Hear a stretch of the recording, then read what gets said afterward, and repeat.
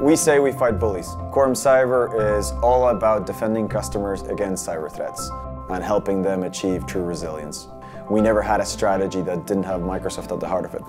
Before Microsoft was in the security space, I remember being in IT having to manually monitor firewall logs over the last 24 hours.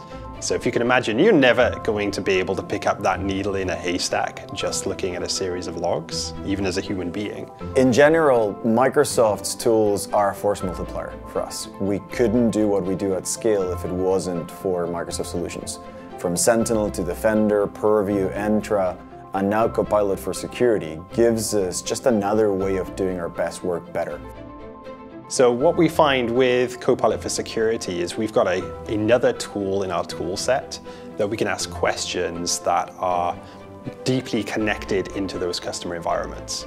All of the telemetry and all the capabilities are there today, but we can use Copilot in order to have a place, one single place that we can go to ask a series of different questions.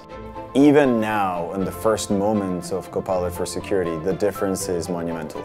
Looking ahead, the future of the collaboration between Microsoft and Quorum is going to be bigger and better. In the age of AI, where more attacks are more prevalent using these new tools, I think needs a different mindset about how we're going to protect ourselves in the future.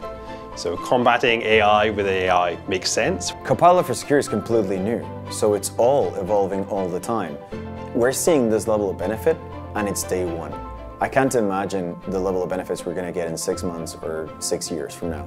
I think it's going to be a before Copilot and after Copilot type event. I think the speed at which is evolving means that we're going to see everything that it can do sooner rather than later, but we're just scratching the surface of it.